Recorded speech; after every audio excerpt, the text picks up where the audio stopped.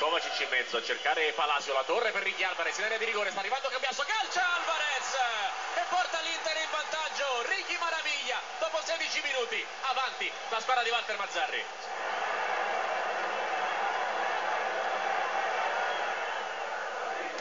Maxi Morales prova a lavorare pallone in mezzo a due tecnica in velocità ma palla persa. Alvarez la perde a sua volta dandola proprio all'altro numero 11 Maxi Morales a cross per Dennis palla dentro e 1-1 anticipo Samuel e German Dennis la mette in rete il pareggio dell'Atalanta al minuto 25 1-1